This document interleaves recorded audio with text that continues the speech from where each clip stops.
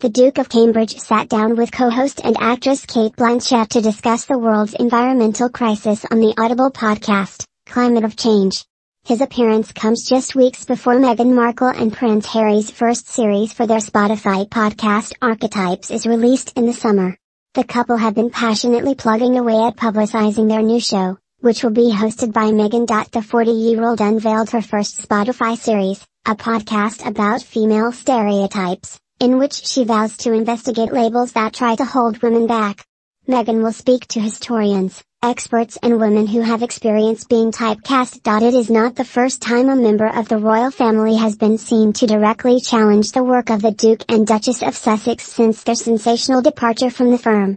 The Queen will go head to head with Prince Harry after it emerged she has given the green light for new details on the royal family to be published in a rival book. The monarch has given the go ahead for her trusted aide and royal dresser Angela Kelly to reveal her lockdown secrets. The news comes as the Duke of Sussex prepares to release his memoirs, said to be intimate and heartfelt by its publisher, Penguin Random House later this year. Speaking to Ms. Blanchett, Prince William said he believes huge strides can be made in tackling the planet's environmental problems as he hailed the game-changing nature of his Earthshot Prize.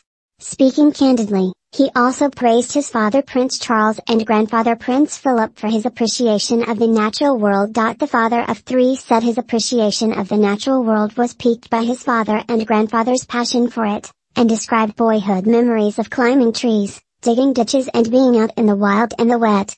He also revealed the run-up to the first award ceremony for his environmental Earthshot Prize was terrifying, but thankfully the event passed without too much of a hitch. William chatted on the Climate of Change podcast, hosted by Ms. Blanchett, a member of the Earthshot Prize Council or judging panel, and climate entrepreneur and activist Danny Kennedy, who nominated a number of projects for the competition. When Ms. Blanchett said he appeared quite hopeful that we may be able to work our way out of what seems to be a crisis, the Duke replied by quoting Christiana Figueres, chair of Earthshot's board of trustees, saying he felt like a stubborn optimist.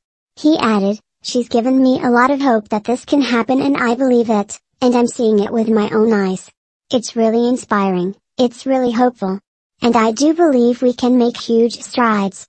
The same way the Earthshot to me is a team game, and as you know Cate, I said that to the prize council members, to all of you, it's everyone doing their bit and helping and supporting what we're trying to do, it's all of us in it together.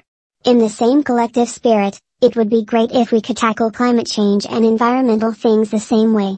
I really do think it can be done in much quicker time than we anticipate because the solutions are out there. There are real solutions to these problems.